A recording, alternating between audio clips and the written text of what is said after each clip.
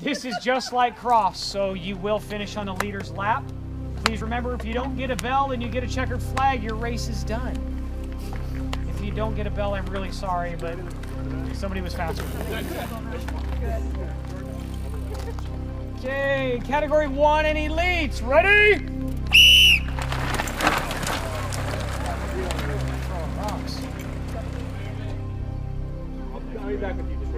Single speeds. Ready?